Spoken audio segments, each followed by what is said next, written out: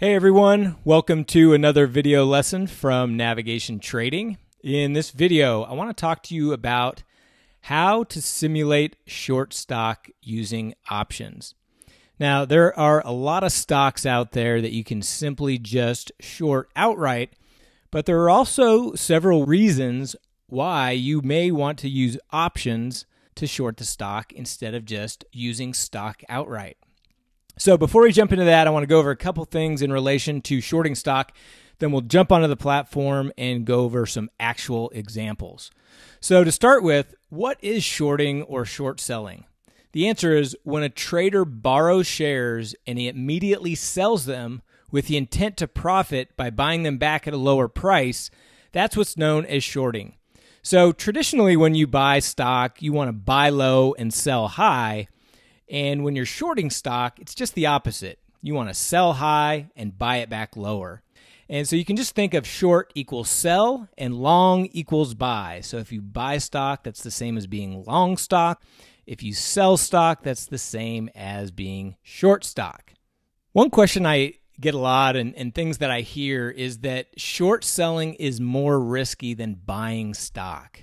Now, the regulators and people who say that say that for this reason, and that is theoretically, a stock can only drop to zero. So if you buy a stock, if you buy one share for $100 of a stock, the most you can lose is $100. But theoretically, a stock can go up forever. So if you short a stock at 100, theoretically it could go to 1000 and keep going. And so that's why they say that shorting is more risky than buying a stock. But the reality of trading is A, stocks don't go up forever and you can always get out or play stops. There's a lot of things you can do to mitigate that risk. So you shouldn't be scared of shorting stock. It's no different from a risk reward standpoint than buying stock in general. So, a couple things you want to know about shorting stocks as far as terminology. One, shorting stock outright can only be done in a margin account. I don't know of any brokers that allow you to short stock in an IRA. So, if you are planning to go short a stock, you do want to have a margin account. And then a couple things you'll see on your brokerage platform is related to shorting stock. There's easy to borrow, ETB, hard to borrow, HTB and none to borrow NTB. Let's go to the platform and I'll show you exactly what those mean. So here's a here's a ticker symbol that I found that has stock that is none to borrow BHP. I have no idea what this company does, but what you'll see right here is NTB and that stands for none to borrow.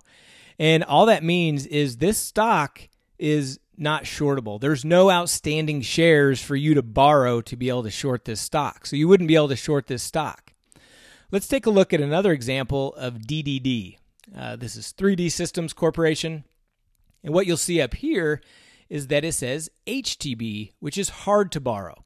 So what that means is that there are not shares just readily available for you to borrow and short by clicking and selling the shares like you would here, you would actually have to contact your broker. They would have to locate a certain number of shares for you to allow you to short the stock. And lastly, let's take a look at a more popular stock, a more highly traded liquid stock like Facebook, for example. And what you'll see here is you're going to see the acronym ETB or easy to borrow. And so that means that shares are readily available to short. If you wanted a short Facebook stock, you could simply just sell as many shares as you wanted and you know hit confirm and send just as if you were buying a stock but the opposite direction and you could make that happen. So again, there's easy to borrow, which are readily available shares that you can short anytime. There's hard to borrow, which means there may or may not be shares available. You just have to contact your broker to check with them and there is none to borrow, meaning you cannot short that stock. So let's say that you wanted to short a stock, but you had an IRA account. And remember what I said is there aren't any brokers that I am aware of out there that allow you to short stock in your IRA. What if we took a look at Facebook, for example, and you wanted to get short this stock? What options do you have? Well, first off, let's take this stock and analyze it. This is a short stock position. And what you'll see is if you look at this right here, Obviously, this is the profit line, and so if the stock is going down, that's when you're making profit. And if it's going up, that's when you're losing profits. And so that's kind of the visual graph of shorting a stock, right? You make money if it goes down, you lose money if it goes up. So let's take a look at what we can do to simulate shorting stock using options. Let's just go to the options with 52 days to expiration. We like to typically put on positions with 30 to 60 days, so that fits right into our wheelhouse. And all you have to do if you're trying to simulate shorting options is you can sell a call, and Facebook is currently trading at about $176. So let's call it 175 since these strikes are five points wide. So we could simply sell the call, and then let's take that over to the Analyze tab. And then we can come back to the Trade tab and we can buy a put of the very same strike. Okay, so let's take this over to the Analyze tab. So what you're seeing here is we are selling a call at the 175 strike and we are buying a put at the 175 strike. And now look what your P&L graph looks like. Almost identical to that of shorting stock, right? If the stock goes down in price, you're making money. If the stock goes up in price, you are losing money. Now, the other benefit to using options versus stock is that if we just hit confirm and send on the short stock piece, if you're going to short 100 shares of Facebook, it's going to cost you about $7,500, almost $7,600 in buying power. Well, if you buy and sell the option like I'm showing you here, it's going to cost you about 30 to 40% less in buying capital. So you're using leverage of the options to use less capital. So that's one benefit. The other is, as I mentioned, you cannot short stock in an IRA. So you, you might want to use options for that reason.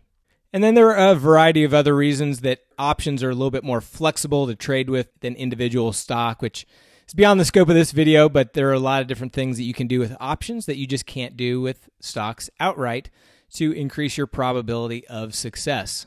So that's an example of doing it in a stock that's easy to borrow. So it, you know, if you're not in an IRA, it would be just as easy to short the stock or use the options. It's it's it's more of a preference and an efficiency use of capital decision. But going back to the stock that we looked at, BHP, where if we look here, it's none to borrow. You can't even borrow shares of that. So shorting the stock outright isn't even an option. So if you did want to get short this symbol, what you would have to do is use options by you doing it exactly like we did in Facebook. You can see the price is trading right at about $49. So you could simply sell the call, and we'll take that over to the Analyze screen. We'll go back to the Trade tab, and we will buy the put of the exact same strike, the 49. Take that over to the Analyze tab, and there you go. You've got a very close simulation of selling stock short using options. Remember, the stock market goes up and it goes down. There's no reason to limit yourself to only long positions where you benefit if the price of the stock or that market goes up. You need to have these different strategies at your disposal because there are times where you're going to want to either hedge your overall positions using short stock or short simulated stock using options, and you need to have these strategies at your disposal. I hope this was helpful in helping you learn how to short stock using options. See you in the next lesson.